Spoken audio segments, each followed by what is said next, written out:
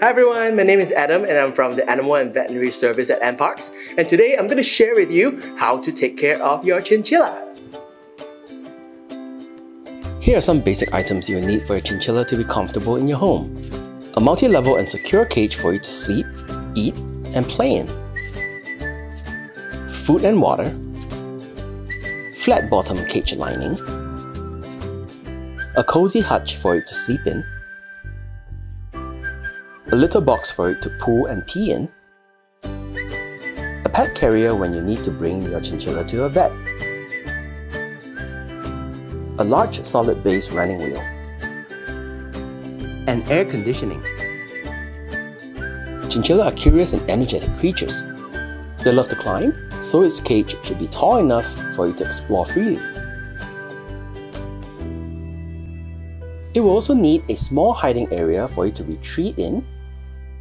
To keep your chinchilla cool, place the cage in an area that is not exposed to direct sunlight. Just like us, your chinchillas like to live in a clean home, so remember to spot clean it daily.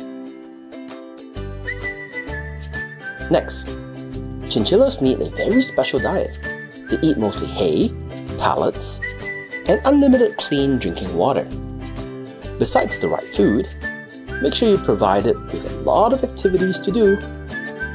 As chinchillas are active, curious and playful animals, Allow them playtime out of the cage with you for at least 30 minutes each day.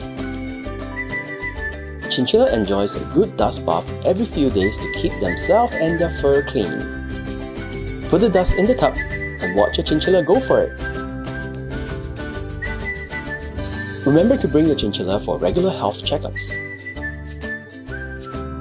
When your new pet chinchilla enters a new home, give it some time to get used to its new environment be patient. This trust building can take weeks. When they're comfortable with you, they'll let you pet and feed them. Chinchillas are curious and adorable pets. They can live more than 15 years, so we need to take good care of them. This is why you should think twice before getting one. Being a considerate and responsible pet owner, you need to play your part in caring for the community and the animals that share our home in this city in nature. Now remember, a pet is for life,